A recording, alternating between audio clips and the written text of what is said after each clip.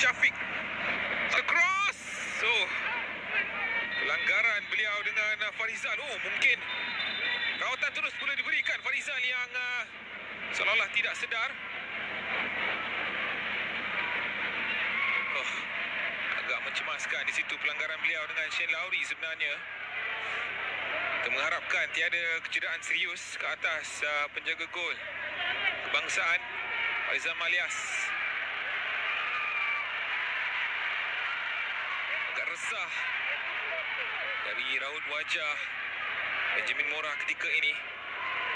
Rawatan terus diberikan.